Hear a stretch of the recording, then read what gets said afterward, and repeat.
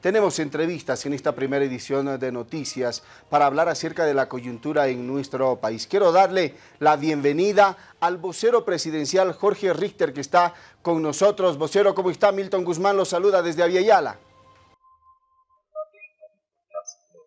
Agradecido por compartir estos minutos con el canal y a través suyo un, un saludo también afectuoso para todos los bolivianos, bolivianos. Vocero, arranquemos del el desarrollo de esta entrevista eh, y mucha gente que recién comienza a ver lo que está pasando dice, eh, ¿qué es lo que está pasando en este momento en nuestro país? ¿Qué está pasando en Bolivia, vocero? Fundamentalmente tenemos una situación de, de conflictos, tiene dos, dos características. La primera de ellas es un conflicto sectorial en función de lo que señala la ley 3 que para muchos sectores, por lo menos para quienes están dando una explicación o están demandando poder tener eh, modificaciones sobre el contenido de, esta ley o aclaraciones cuanto menos, eh, es un conflicto en ese sentido sectorial. Están los especiales, está gente del transporte en diversos puntos eh, del país manifestándose. Y otro es un conflicto ya de orden, de orden político impulsado por los cívicos y por algunas instituciones, como por ejemplo los CONADE, etcétera, y que ahí las, las demandas son, dispersas, las demandas son expositivas básicamente para tratar de lograr fines de orden político. Esos fines de, de orden político que no son otra cosa que forzar al gobierno a que pueda tener una situación de de negociación para eh, ellos imponer el, el, concepto de paz por impunidad. Y estos dos elementos que a momentos se entrecruzan y se entrelazan por oportunismo político, eh, pues es lo que en este momento está caracterizando las José, hablemos acerca de este primer punto conflicto al que usted hace referencia, la ley 1386. ¿Cuál es la solución que se le puede dar? ¿Ya ha habido una convocatoria para el diálogo? ¿Usted cree que esta sea la vía para solucionar este problema? no existe otra posibilidad que no sea dialogando, con, entendiéndose, recogiendo los puntos eh, que preocupan al sector gremial, al sector transporte, explicando el alcance de los mismos y, bueno, en el, en el marco de esa negociación poder encontrar un espacio de acercamiento y de satisfacción para ambas partes. Ya en el conflicto político vocero, cuando uno ve lo que está aconteciendo en nuestro país, dice, esto ya lo vio, esto es un déjà vu, esto ya pasó. Y entre las demandas comenzamos a escuchar temas, por ejemplo, de que queremos respeto a la democracia o queremos libertad. No hay libertad en Bolivia, no hay democracia vocero. Esa es, solamente una evocación discursiva. Vemos clara, claramente que el país, desde el pasado año, lo que precisamente Bolivia no solamente reencauzar su sistema democrático eh, en apego hacia la Constitución, hacia los periodos también que señala, eh, los periodos que caracterizan la secuencia constitucional, sino también junto con ello, de manera aparejada, viene la libertad y viene la, viene la igualdad, viene la justicia, vienen las garantías, la certidumbre en cuanto a los derechos de las personas. Hemos escuchado en el año 2019 la temática y la retórica pasaba por, por el tema de las libertades, precisamente. Después, una vez que ellos tomaron el gobierno, lo que el país precisa. Conjunto de libertades, de seguridad, de seguridad eh, en los derechos humanos, de, las garantías de las personas, que terminó con más de años en las cárceles, con pocos más una vulneración completa a los derechos humanos de parte de quienes hoy los quieren supuestamente volver a reintegrar una repetición de lo que fue, de que fue ya una metodología de recurrir institucional. Estamos en entrevista con el vocero presidencial Jorge Richter, haciendo referencia a la situación que en este momento atraviesa nuestro país. Él ha dado a conocer que este conflicto que se está viviendo se divide en dos. El tema social, que es la demanda del sector gremial, de ya sea abrogar o modificar algunos artículos de la ley 1386 y el conflicto político, que ya tiene una serie de pedidos, dice él, que en muchos casos se comienzan a entrelazar. El tema del pedir la renuncia del gobierno nacional, pedir la renuncia del eh, presidente de Estado, Luis Arce, y que esto, lógicamente, han tratado de unirlo a la demanda que tiene el sector gremial de eh, observaciones a la ley que ha sido tratada en la Asamblea Legislativa Plurinacional, la ley 1386, y que lo decían bien los asambleístas, esta ley ha ingresado por las comisiones y ha sido aprobada también por la oposición. Vocero, retornamos nuevamente con este contacto, por supuesto, y continuamos. ¿Cuál será el objetivo de fondo de, tratar de entrelazar estos temas, como usted lo dice, mezclar ambos temas, el tema social con el tema político y estas demandas extremas que tienen de renuncia del presidente, por ejemplo? Usted lo ha escuchado en reiteradas ocasiones, los señores del Comité Cívico Pro Santa Cruz, del Comité Cívico de y también avanzan y, señalan un camino que está dado en la ruptura institucional del país. Están buscando nuevamente reeditar un hecho como el de 2019 de forma tal de que a ellos les pueda garantizar un amplio espacio de impunidad y de no responsabilidades sobre lo que realizaron en noviembre de aquel, de aquel año. Este es el sentido mayor y para ello la fórmula es desestabilizar el país, generar incertidumbre, tensión, conflictos, de forma tal de que el gobierno se vea obligado a tener que negociar con ellos esto que le acabo de señalar, esta fórmula de paz por impunidad, paz a cambio de impunidad.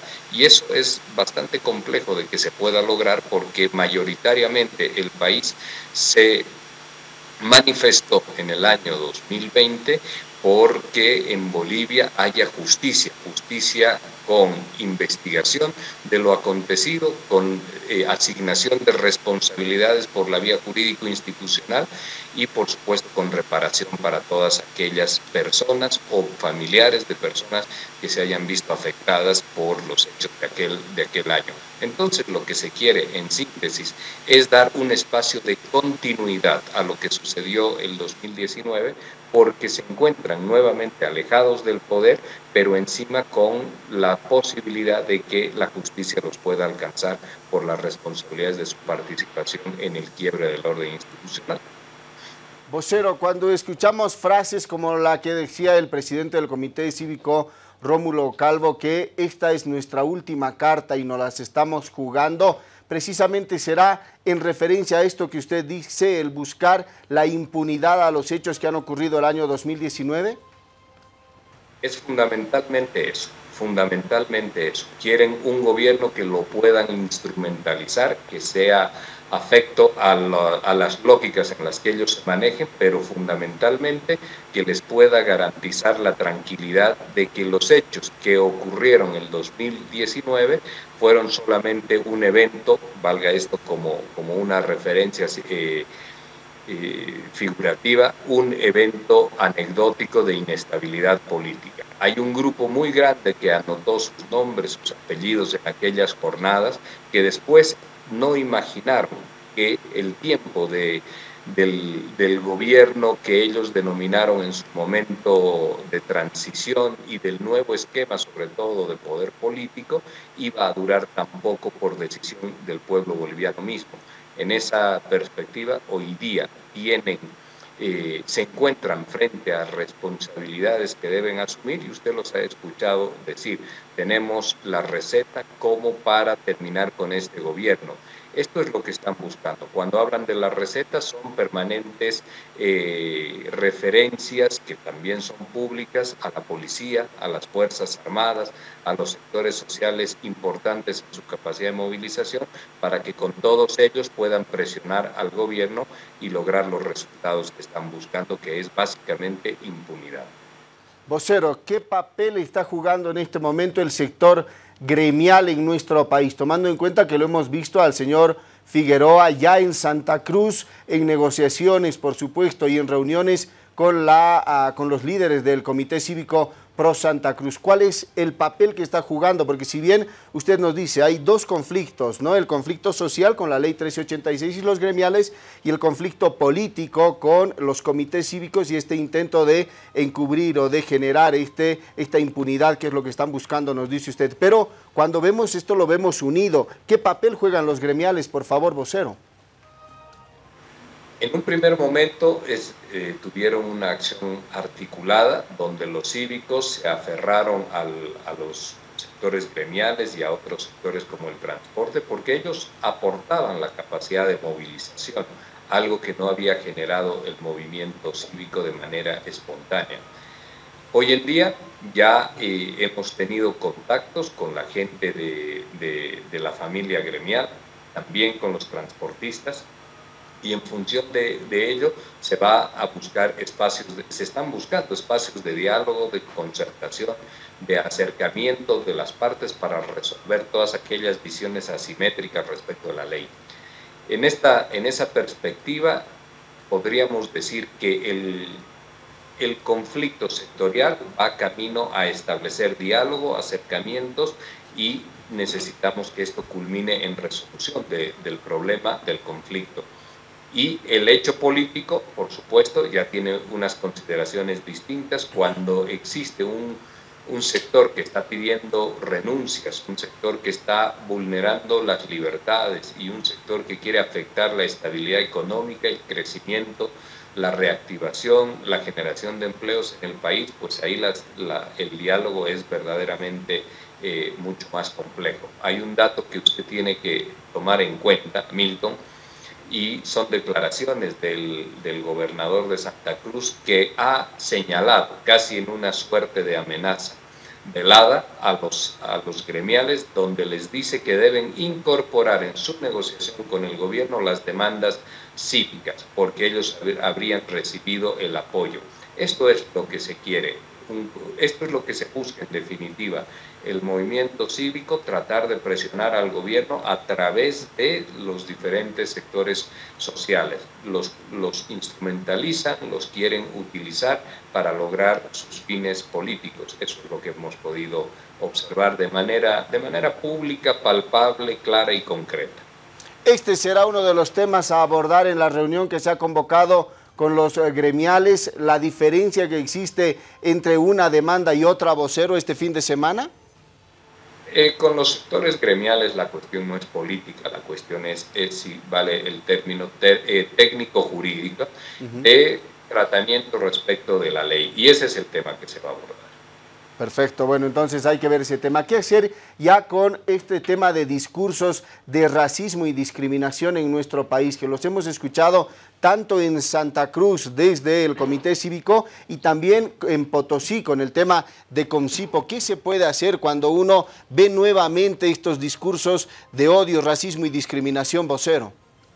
Siendo un problema, Milton, de orden político, siendo un problema de orden político que sale de las esferas gubernamentales, pues ahí, sin lugar a dudas, la respuesta ya ha sido, no es que va a ser, ya la respuesta ha sido de orden también política, que son, eh, son manifestaciones públicas de apoyo, movilización de los sectores sociales que lograron a través de su voto y las urnas retornar a la democracia, conquistar el poder, convertirse en los interlocutores válidos para la administración del Estado. Estos movimientos sociales, el bloque social y popular articulado al movimiento al socialismo con toda su dirigencia, etcétera, pues han, eh, dado ya el camino de lo que es la respuesta política, movilizaciones como el día de, de antes de ayer, de ayer en Cochabamba, de este domingo también, la realización de, de cabildos, etcétera y esto es, eh, este es eh, un primer paso de respuesta y de orden,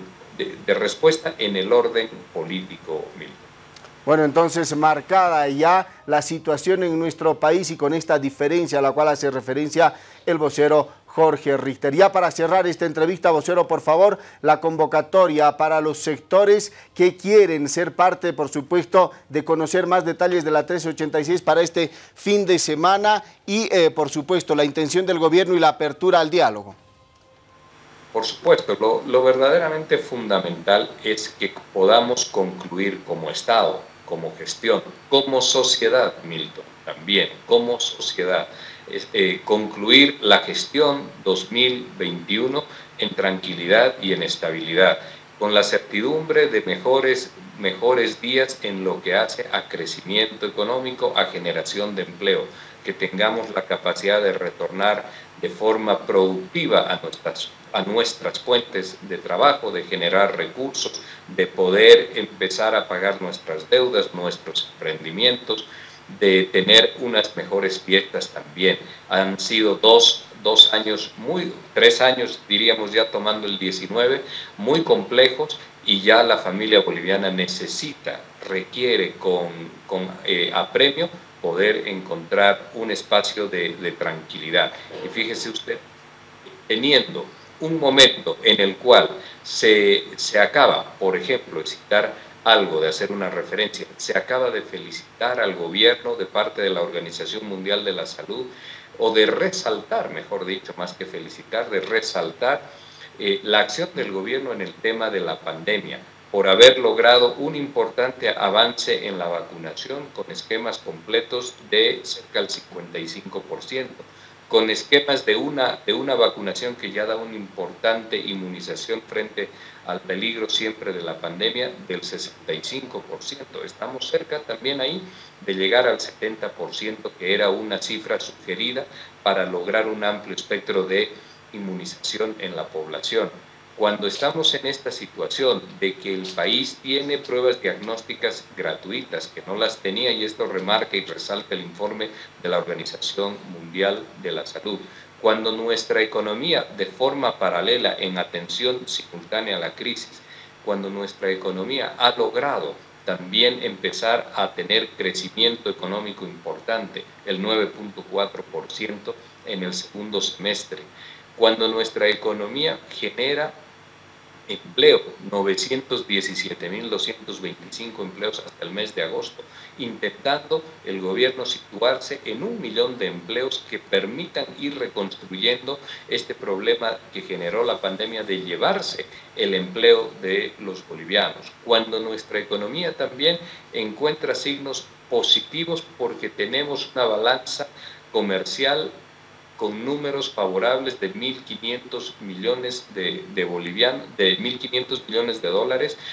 y que este es el mejor indicador de los últimos siete años. Cuando tenemos estos elementos, fíjese usted, instalan un conflicto de orden, de orden político para poder distorsionar la estabilidad, la generación de empleos, el crecimiento económico, la protección de la salud y por esa vía tratar de deslegitimar eh, y desgastar fuertemente al gobierno para poder imponer lo que le señalábamos.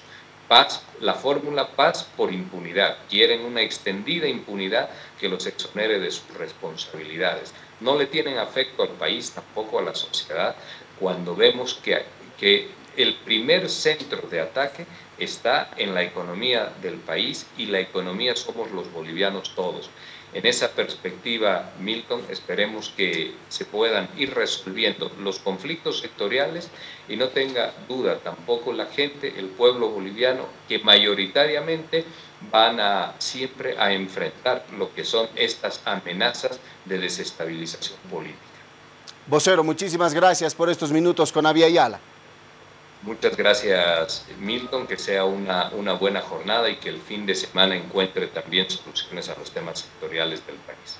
Muchísimas gracias. Ha estado con nosotros el vocero de la presidencia, Jorge Richter, con nosotros, haciendo referencia a estos conflictos por los cuales está atravesando nuestro país, generando esta diferencia entre un conflicto que es social de observación a la ley 1386 y un conflicto que es político, al cual ha hecho referencia, ha dicho que lo que está buscando es intercambiar paz por impunidad. Este es el eh, objetivo que tiene el Comité Cívico Pro Santa Cruz, lo ha dado a conocer el vocero de la presidencia, Jorge Richter, acá en la primera edición de Noticias de Avia Yala. 8 de la mañana, 6 minutos, pausa, ya volvemos.